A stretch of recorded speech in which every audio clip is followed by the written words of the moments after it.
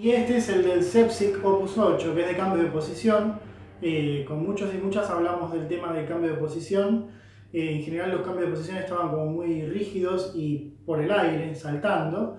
Entonces el Opus 8, que es el primer ejercicio, hace este cambio de posición.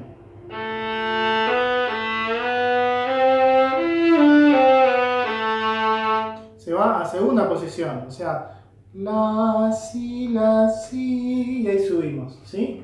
O sea, el cambio de posición tiene que ser en un ligado, por debajo, y que se escuche el glissando. No es un ejercicio que se toque fuerte, no, no es esa la idea, sino que se toque piano, se estudia piano, y el cambio de posición es lo más suave posible.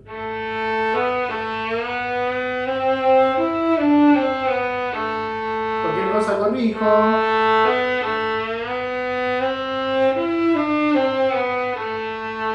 Y el arco está dividido en dos. El, compás lo van a ver completo con un solo arco, pero eh, lo vamos a dividir en dos, a este tempo. Cambio el arco. Siempre hay un dedo que sube y otro que baja. Y después lo va haciendo por toda la cuerda. Nos mantenemos piano.